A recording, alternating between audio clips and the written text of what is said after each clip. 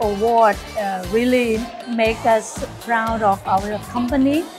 because as the best company to work for is a very good branding. So we continue to keep this award and use as a company uh, branding uh, to attract good new talent or new generation uh, to join the company. And more than that, we think we have to, uh, let's say, brand that too, meaning that we will make it happen really in the workplace to make all the existing employees feel proud and feel that they feel valued by the company so that they will retain in our organization and we move forward together.